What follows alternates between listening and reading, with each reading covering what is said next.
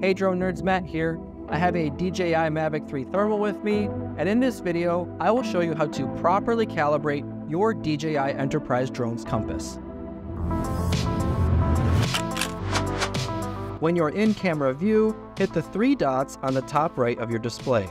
The first tab that shows up will be Flight Settings. Scroll down and tap Sensor Status. Tap Compass, and then tap Calibrate Compass. It's going to ask us to keep the drone horizontal and do a 360 degree rotation.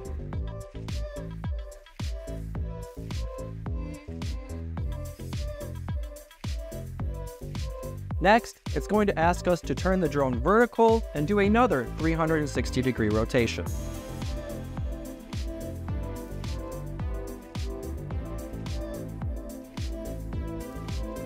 Once it says calibration complete, you have successfully calibrated your drone's compass. If you have any questions about the calibration process for your DJI Enterprise drone, go ahead and put those in the comments. Also, be sure to like this video, subscribe to our channel, and hit that notification bell so you can see all of Drone Nerd's latest content. My name is Matt. Happy flying.